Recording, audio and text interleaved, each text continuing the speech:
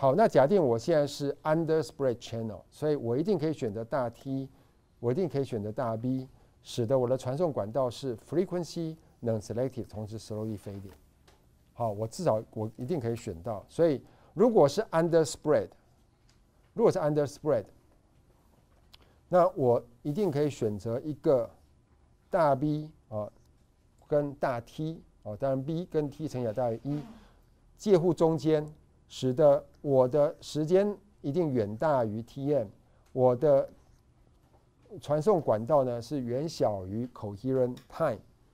那这个时候如果做得到，如果这如果是 under spread，同时 spread factor 等于零点零一，那我就可以选择一个传送的方式，让我的 channel 变成 frequency non-selective，同时是 slowly fading。那这时候我们的分析就简单了。好，如果它事实上是呃。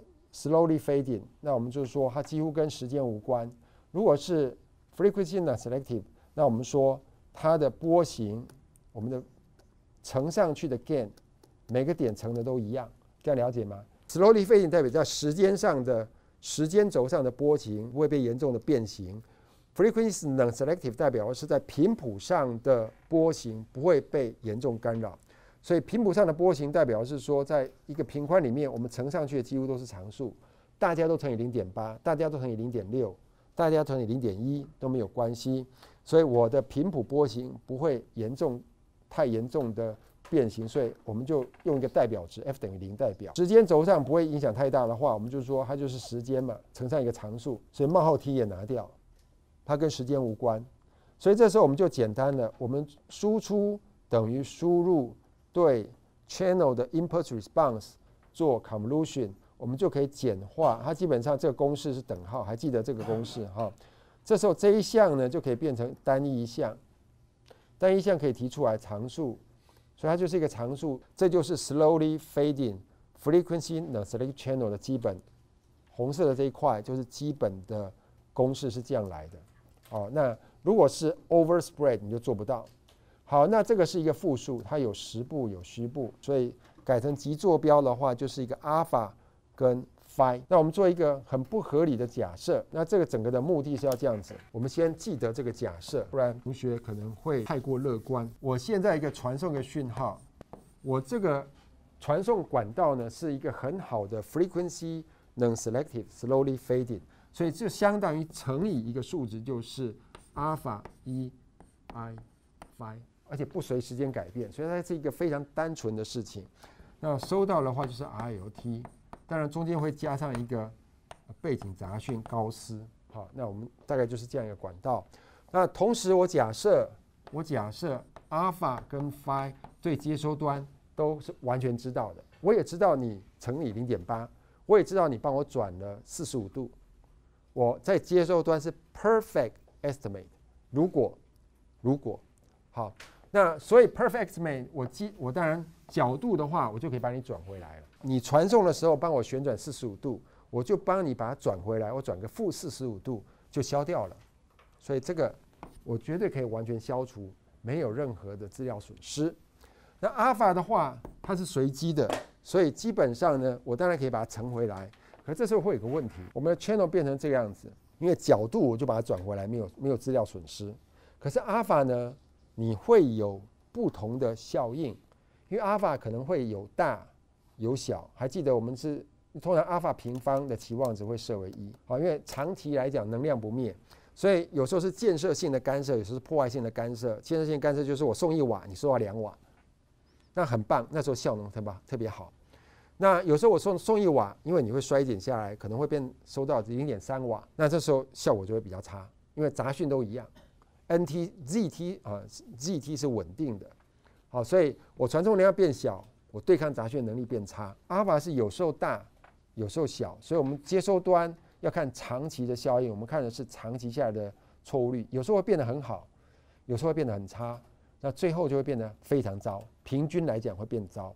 好，所以基本上呢，呃，我我常常讲呃这个观念，我们后面要做的是分析它的错误率，我们会给你。真正的公式，基本上呢，你会发现，我们只要有 fading，它的效能呢会变得非常糟。即便接收端做这么不完美，呃，这么完美的假设，阿尔法跟西塔完呃阿尔法跟 phi 完美的估计，你的效能会非常的糟。好，那我们会看到十的负四次方会比原来没有非点的时候还要差二十五 dB，这是后面直接会做出来的。我们先看到我们的 Go，所以代表的是只要有非点，你几乎通讯是没办法用的。所以要怎么样来改善？就是 diversity，diversity 会让我们变得可以用。哦，所以没有做 diversity 的 perfect channel，呃，slowly fading，呃，frequent selective，你还是几乎不大能用。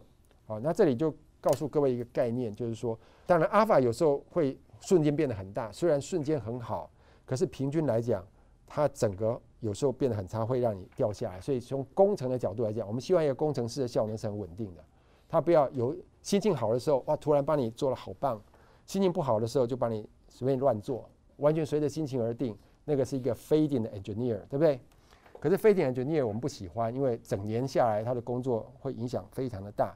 可是学艺术人，我们喜欢 fading。你一辈子只要做出一张画，突然瞬间有个高峰，画一幅画，写一本小说，传世流芳万世，那就很棒了，对不对？那你其他日子都想不出东西来，画不出好东西也没有关系，一辈子写一首诗就好。所以这个我们讲非定圈是艺术性的啊，所以学艺术的人就是 fading channel，他们希望瞬间好，瞬间好，因为只要做一次好就好了。我们那工程上我们不希望，所以我们来看一下哈，呃，我们效能到底怎么样分析？所以，我们接收端会等于传送端的一个讯号乘上一个随机的阿尔法，加上一个随机的杂讯。那如果是 passband 的话，当然，呃，passband 杂讯是二分之 n 零。那我们知道说，我们假设接收端对相位是完全同步的，可以完全恢复的。所以，如果传送端送 bpsk 正负一，好，那我们当然相位可以调得非常准，所以在基频没有问题。我们只有感受到纯十步的杂讯。所以虽然基频的复数杂讯是二 n 零，可是我们每一轴只有 n 零，所以这两个效能你可以看到是完全等效的，因为根号二一除掉，事实上等效于二分之 n 零。那如果是 equal prior，那最好的接收值你要猜正一负一就是大于零或小于零，跟阿尔法无关。然后我们之前有有有看哈，就是说我们的错误率 given 阿尔法，记得接收端知道阿尔法。接收端完全知道现在的阿尔法是零点一、零点二、零点三、零点四，还是二还是三，所以接收端知道阿尔法的前提下，错误率这样一算呢，根号两倍的 signal power，signal power 就是这个的平方，就是阿尔法平方一除以杂讯的 power，所以就是 n 零。对不起，这是二 signal power 是是二阿尔法平方一除以 n 零。那这个时候呢，只算当下的阿尔法的错误率，这个错误率是。在某一个瞬间，阿尔法等于零点八带进去的错误率。那下一个时间呢？阿尔法可能会变零点二。在下一个时间，阿尔法可能会变零点九。在下个时间，阿尔法等于等于，譬如说八点二。所以阿尔法是随机的。那所以我们要算的是长期的错误率来讲的话，你要取期望值，对阿尔法取期望值。这就是长期的，一年下来的，两年下来的，呃，对 Rayleigh distribution 的错误率。所以它就是对阿尔法当下的错误率乘上阿尔法的几率，那就是 Rayleigh fading。我们最简单的长期的高斯二维高斯取绝对值所获得的 Rayleigh fading。所以这是这是它概念。好，那这时候我们就看这个就是微积分了哈。这个东西当然可以积，刚好可以积分。好，那呃我们设贝塔是二西格玛平方一除以 n 零，西格玛平方就是你 Rayleigh fading 的参数啊参数。阿尔法是随机，阿尔法平方的期望值是两倍的西格玛平方，它的参数。好，那这时候我们把 x 设为阿尔法除以西格玛带进来，刚好可以积分。好，我们用这个是呃 integration by part，细节我们就不讲了啊，因为我都提供的非常清楚。然后这时候你发现呃这边纯高斯，所以高斯你凑零到无限大啊，这就是二分之一，所以获得获得了一个呃标准式，标准式。当然没有问题，它这是严谨的数学获得的。可是我们要看感觉，所以这时候我把这个式子呢画成另外一种形式啊，就是两倍的根号一加伽马 b，根号一加伽马 b 减掉根号伽马 b，然后有理化分子乘以根号一加伽马 b 加一伽马分子也是乘以这个，所以分子 a 加 b 乘以 a 减 b 就是 a 平方减 b 平方，就是一了。好，所以有理化分子之后得到了分母。然后伽马 b 如果够大的时候，比如说十倍，啊，这一项消掉嘛，这一项消掉，所以刚好是四倍的伽马 b。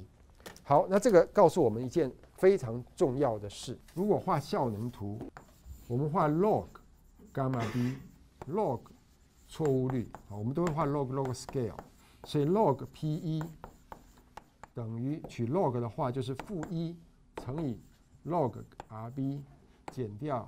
log 四，好，但我们这边取 log 是取十为底，你会看到它的效能的曲线是斜率是负一的一个曲线，斜率是负一的曲线。这个负一将来我们会把它定义叫 diversity，它的 diversity 是一，因为它只有送一个 copy，它没有重复送，所以这是斜率负一嘛，diversity，你将来会看到它的效能很糟。好，我们先记得这样子，那我们来看一下 equal prior 的 b bfsk，好，那很简单，好。那我们当然知道说，现在都会对称一个阿尔法，阿尔法是随机的，有时候大，有时候小。好，那我们之前接收端假设完美的知道阿尔法的情形下，我们当然可以算效能。那错误率是 Q 的，记得呃，B B F S K 它的效能是根号的伽马 B Q 函数，那加上一个阿尔法的话，它就变成乘上一个西 a 平方。好，那所以这边会有 Q 的根号的阿尔法平方伽马 b，然后你必须要把阿尔法平方乘上它的几率，就是 Rayleigh fading，那刚好也可以乘，就跟刚刚算法一样。好，这个公式跟前面完全一样，只是贝塔是贝塔不一样。这边的贝塔定义是这边有二，这边没有二。好，这边没有二，但是只要你这样一改，公式就完全一样，所以积分完全可以用。那只是说这边会多了一个二，有理化分子之后，这边多了一个二，所以变成两倍的伽马 b。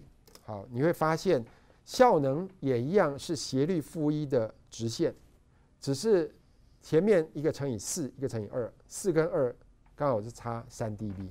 这个是二伽马 b 分之一再除以二，所以前面的错误率如果是呃，就是下一张投影片的错误率如果是二乘以十的负五的话。这边的就是一乘以十的负五，所以这边会比较好。两个刚好准准的差三 dB，完全是平行线。好，那我们继续做 binary differential PSK 错误率，我们之前都算过了。我们所以我们第四章要先教。所以你会发现一个事实：传统的错误率跟非顶的错误率其实很好算。你就把传统的错误率乘上非顶的错误率的 distribution，那个 alpha distribution。然后把它的能量呢多了一个阿尔法就好了，就好了。好，所以基本上呃你一样设贝塔，那这个就比刚刚那个简单了，它本来就可以直接积分，这没有问题。好，那直接积分出来之后，刚好就是一个二分之一加伽马 b 分之一。呃，我刚刚忘了讲，伽马 b 前面加一个 bar，代表是平均值，因为记得阿尔法有时候大，有时候小，大的时候我接收。的 signal to noise 是好的，我们看的是一个平均平均现象。好，所以基本上大约是二伽马 b 分之一，跟前面一样。那 coherent 的话，我们得到一个式子，然后照算，刚好是多一个二，好，刚好是伽马 b 分之一。好，那这边是公式哈。那考试一般我都还会会稍微考一下，好，那考一下不会考考这么复杂的计算，会考比较简单。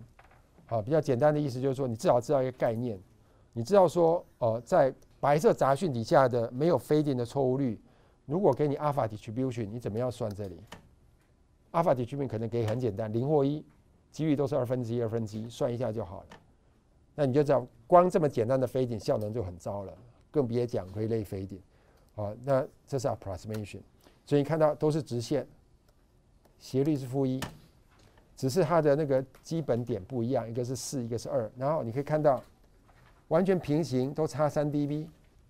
那本来一个应该有四条线的，你会发现两条线重重合。这两条线重合，因为都是二伽马 b 分之一，二伽马 b 分之一，几乎叠在一起，只差一点点。这边事实上是四条线，中间这边有两条。好，那我们在第四章的时候有画没有非顶的错误率。好，那我们说一般在呃商用的系统的话，一般是十到二十 dB 还是可以接受的。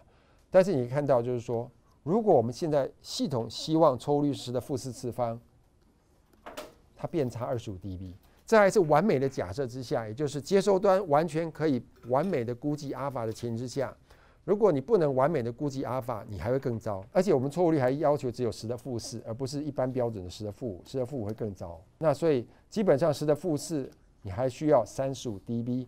那三十五 dB，如果我们三十六来讲，除以三的话，大概十二倍。十二倍的话，代表我的传送讯号的能量，要是杂讯能量的四千多倍，你才能够达到十的负四次方。在 fading channel 这个在实作上，在实际操作上，其实几乎不可能做的。所以。Fading channel 即使完美的接收端也没办法使用，基本的概念，除非你愿意用很大的能量来对抗杂讯。好，那我们稍微讨论一下哈，就是这个都是平行，一个差三 dB，一个差六 dB。好，然后错误率是 inversely proportional，就是导数啦，刚好是导数。没有非点的话，就是直接掉下来是指数递减，可是有非点变直线递减。错误率十的负四次方是三十五 dB，大概不大能用，所以你一定要想办法解决。解决方法就是 diversity。这个 diversity 我们在很多地方会用。好，要介绍 diversity 之前，我们要介绍一个 distribution 叫 Nakagami M distribution。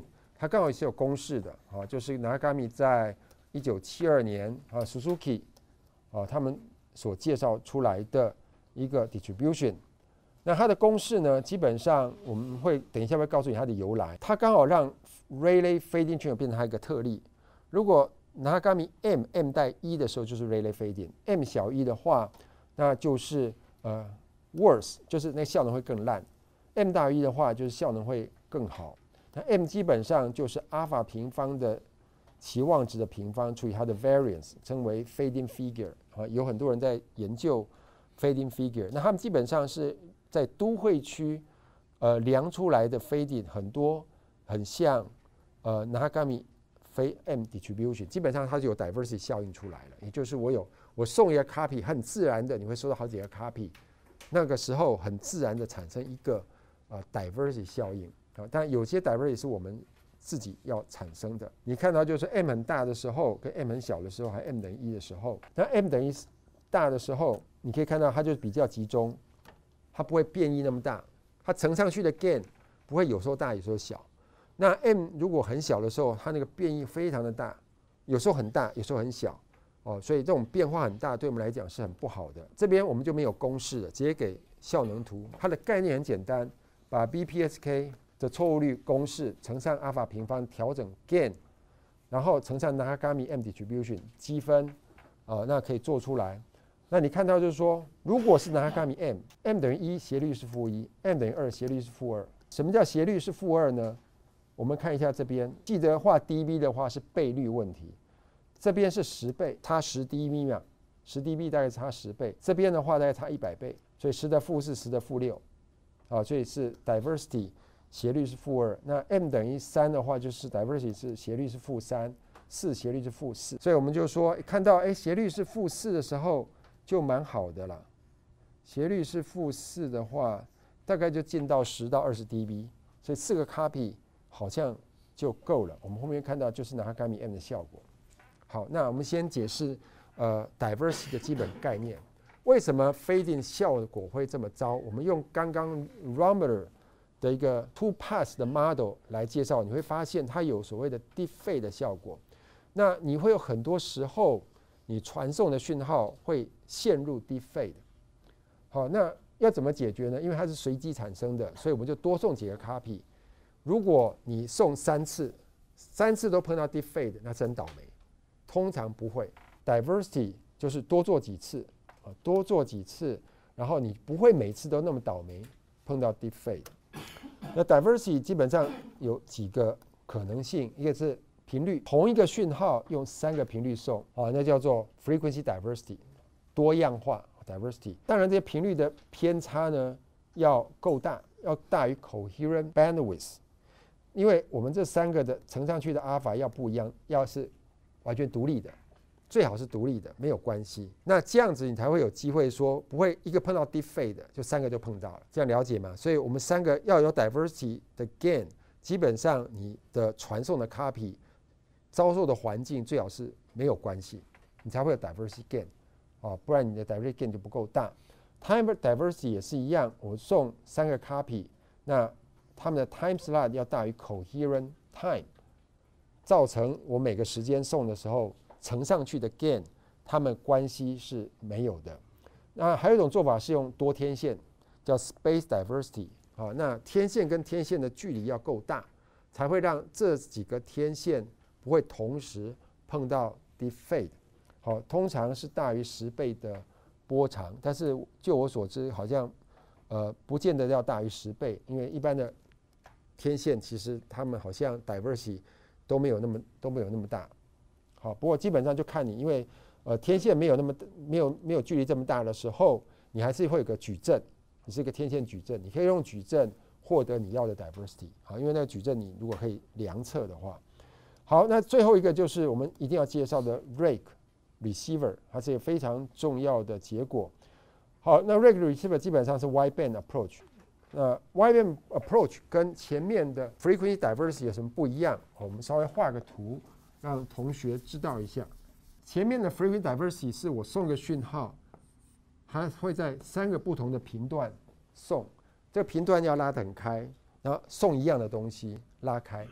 rake 事实上是这样子，我只有一个频段，我只送一个卡频，那个频段呢刚好大于我的 coherent bandwidth。还记得有些传送管道，你真的没有办法，它的它的 coherent bandwidth 就是那么大，你也没有办法，你只能选择 B 比它大，所以它称为 wideband approach，就是说它在我的传送讯号的宽度大于你的 coherent bandwidth 的时候，我还是可以得到我的 diversity gain。那它 diversity gain 基本上就是你 B 除以 delta F C，所以如果 B 这个是三的话，代表我有三倍的 diversity。好像很糟的情况，我的传送管道的传送讯号它的频宽。是比你的 coherent bandwidth 还要大，哎，大好几倍。可是我可以用 rake 的方法来获得我要的 diversity gain，或者大四倍也没有关系。好，所以如果你的频宽还不够大，你还得不到 diversity gain。对，你的 B 如果只有 delta F C 的一倍，你还获得不了 diversity gain，你的你的斜率只有负一。所以你斜率要负四的话，你还要真的要够宽，所以它叫 wideband approach。所以这样介绍完了，大概你就知道说一般的无线传送在碰到 fading 怎么样处理。那我们前面三个 diversity，如果我们讲是完美的话，你得到的是 L 个一模一样的传送值，对不对？我们每个传送值遭受到的 alpha 都不一样，这是 alpha one、alpha two、alpha 三，它们彼此之间是独立的。好，所以我送三个，我送一个讯号，得到三个讯号。分别乘上不同的阿尔法，而且，彼此独立，然后加上杂讯，所以呃，只要你前面三种基本上的概念都一样，我们就一起分析。啊，最后一个的话就是频宽要远大于 delta F C，你的 diversity gain 我们用 L 代表，事实上是跟这个比例有关。好，我们看一下 binary 讯号，所以我们假设我们有 L 个一模一样的 copy，每一个都是 frequent selective slowly fading，每个都很棒，个别都很棒，但是因为个别很棒，我们送一次还送送不过去。刚才记得十的负四次方，我们需要三十五 dB 才能用。好，那我们事实上背景杂讯是高斯，这也很合理。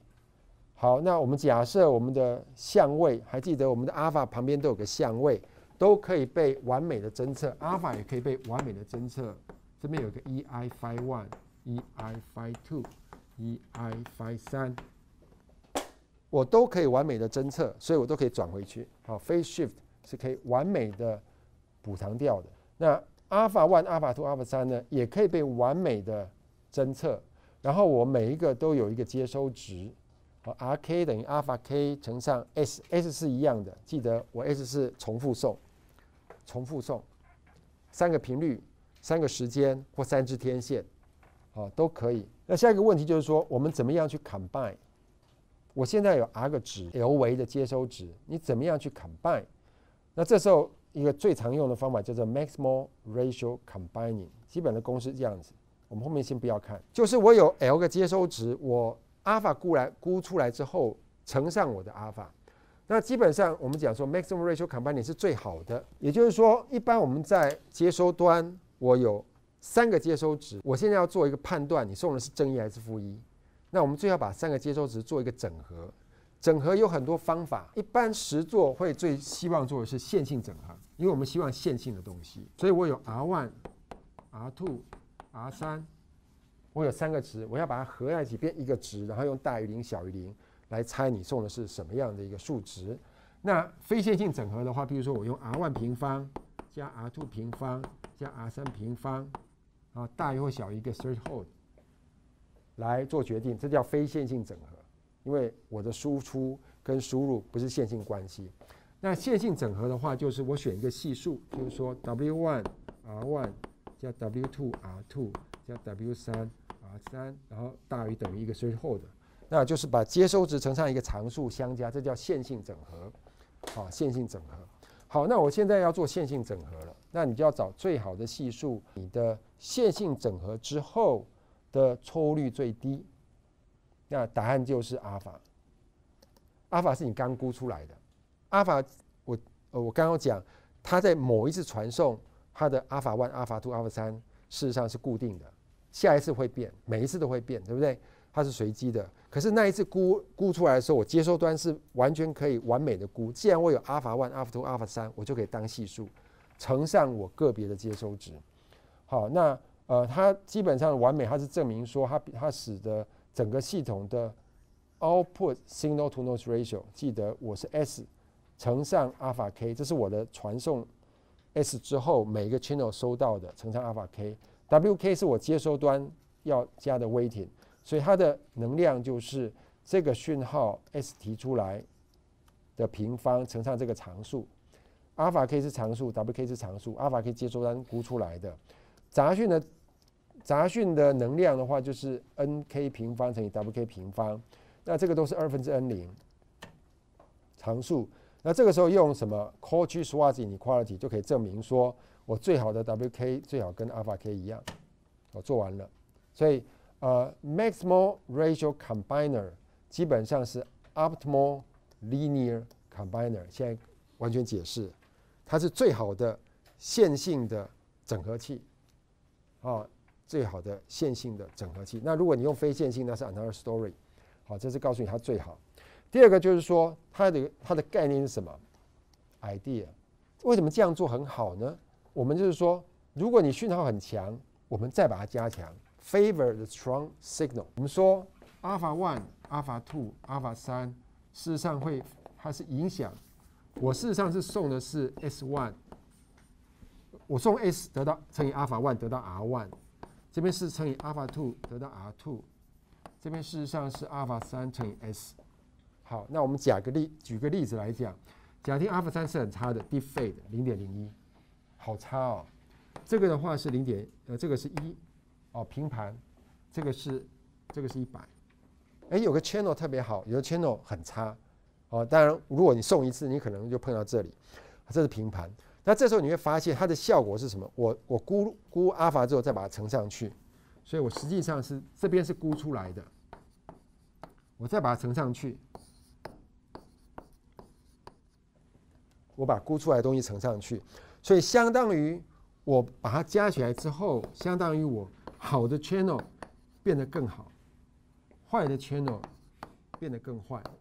那它就给我一个效果，就是说它会让 strong signal，我相信 strong signal。它如果告诉我很正，但我要相信它，因为它的讯号够强，我应该相信它告诉我的正一还是负一。那弱的讯号呢，我就再把它递衰减。好，所以如果如果这边，因为我现在是送正负一的话，如果这边告诉我算出来是正的零点零一，啊，那这边告诉我是负的九十九，我要相信谁？我当然相信他了，对不对？传强的讯号，我要相信更多一点，所以我我把它乘上去。这种弱的讯号虽然告诉我是正一，啊，那我应该不要太相信它。所以它是 trust more on the strong signal。理论的解释也很合理，那数学的解释也很合理，所以基本上这是它的结果。好，那我们来看一下，呃，multi-path fading 经过 diversity 之后，它的错误率是什么形式？那 given 我们现在是说我们用 maximal ratio combining，那这个时候我们把这个项次呢改成阿尔法平方 s，where 阿尔法平方就是每一个阿尔法 k 的平方。好，我们用单一参数。好，我们用单一参数，阿尔法平方假设是所有的阿尔法 k 的平方的和，然后这时候我们把它开根号，所以里面就是阿尔法。那把这个开根号，把这个除以阿尔法。好，所以我们将来的系统是 r 等于阿尔法 s 加上阿尔法是 summation 阿尔法 k 的 n k sum。好，那我们就看这个系统。所以如果你是 BPSK，你就送正负一嘛，乘上阿尔法，阿尔法就是呃每一个阿尔法 k 的平方和开根号。杂讯就是除以阿尔法，每一个阿尔法 k 乘以 n k。错误率的话，如果你知道阿尔法一、阿尔法二、阿尔法三，你就知道阿尔法。所以基本上呢，错误率知道阿尔法就是根号二阿尔法平方一除以 n 零，这我们知道早就算出来了。那唯一的问题就是阿尔法的 distribution 是什么？你真正的长期错误率就是这个错误率乘上阿尔法的 distribution 就做完了。那阿尔法会变什么 distribution？就是 Nakagami L，Nakagami L distribution。那我们现在介绍 Nakagami L 怎么出来的？每个阿尔法平方事实上是实部加虚部的平方，你就知道 Nakagami M 是怎么形成的。它自然，如果你的传送管道有自然 diversity，它就形成了。呃，我们的阿尔法 E I phi 事实上是等于 x 加上 I Y，对不对？x Y 都是高斯，独立高斯，它在复数平面上，我们把它换成极坐标，阿尔法就是它的原点的距离，phi 一下旋转的角度，所以阿尔法事实上是等于 x 平方加 y 平方开根号，所以这就是 Rayleigh，Rayleigh 是两个高斯的平方开根号，好。所以阿尔法平方事实上就是两个高斯的平方，两个高斯的平方。所以阿尔法 k 平方是 x k 平方加 y k 平方。那我们知道高斯的平方和是开 square，这个就是几率要学的。with two degree of freedom，两个高斯平方和是 two degree of freedom。那阿尔法平方是什么？是很多阿尔法 k 的平方，所以就是 chi square with two l degree of freedom。所以它的 distribution 我们知道。所以它开根号刚好就是拿伽米 m，所以拿伽米怎么来的？就是很多高斯的平方和开根号，看你有几个高斯，所以它的 PDF 是这样算出来的。好，所以它完全符合我们的量测现象。好，那 omega 这边的 omega 参数事实上是 L 倍的两倍 sigma 平方，因为更多的高斯进来。那错误率呢？事实上就是原来错误率乘上拿伽米 L 的。积分，我们刚刚那个图已经给各位了，啊，它可不可以积分？可以，有公式有我们，但是我们不不推导给各位看了，这个太太可怕了啊！不过基本上，呃，我们只给结果，这是等号，真正的等号啊，这个积分是可以做的。好，那做出来之后，我们看到它的公式，这公式当然呃看不出来它的一个趋势。所以，我们我们这里的缪呢，事实上是根号一加伽马 c bar 分之伽马 c bar。伽马 c bar 事实上是个别的 channel 的一个呃，我们有好几个 copy 嘛，个别的 channel 的 signal 平均的 signal to noise ratio。好，那我们记得我们讲的是 alpha k 是都一样啊，是 equal 啊，一有有等能量。那这个时候，如果说我们讲说一样有理化分子。这个大概是四倍四倍的 r c 分之一，那一加缪呢？因为缪假设很小，好，所以我们基本呃，对不起，缪假设很接近一了，所以这个是大约是因为 r c 我们假设很大，r c 假设很大，所以一二分之一加缪就很接近一。好，那很接近一这一项是一，所以这一项的和刚好有公式，就是二 l 减一，呃取 l。好，当这一项是一的时候，这一项就是这个这一项。然后这一项就会变成四 r c 分之 l。